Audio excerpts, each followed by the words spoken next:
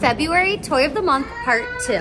I've noticed that the kids are using all sorts of things as strollers, like they use the baking cart, and sometimes they just use a shopping cart. So I thought it was time to actually buy one. This one is by Perfectly Cute. I love the color of it. It works perfectly with our Positively Perfect doll, and I can't wait to show you guys part three.